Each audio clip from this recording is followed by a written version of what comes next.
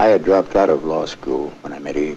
She was very beautiful, always poised and distant. At the time the girls were born, it was all so perfect. She created a world around us where there was always a kind of harmony. And suddenly, I was staring into a face I didn't recognize.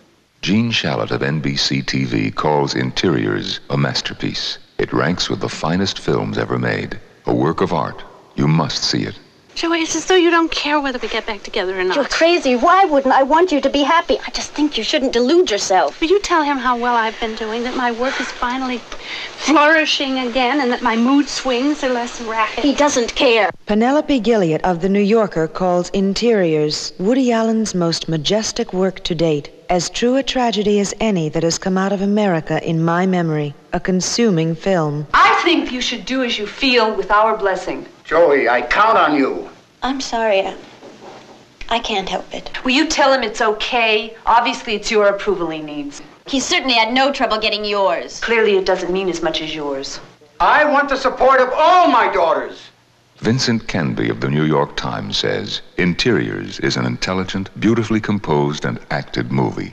They're so enthusiastic. College kids. I get embarrassed. Oh, well, don't get embarrassed. Don't come. Stay home and drink yourself unconscious. That's one of the cliches of being a novelist you've had no problem with. Judith Crist says Interiors crosses an entirely new frontier, dealing directly and perceptively with the human condition. Mom? Nothing to live for anymore. Mom, Mom, don't say that. It's true. You know that's not true.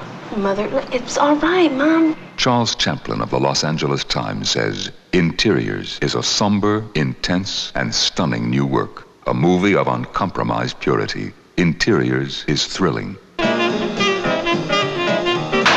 careful.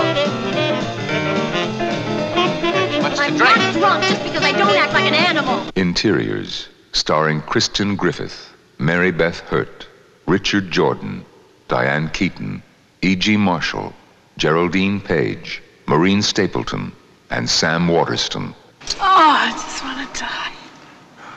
Stop that. I just hate my. Interiors, written and directed by Woody Allen.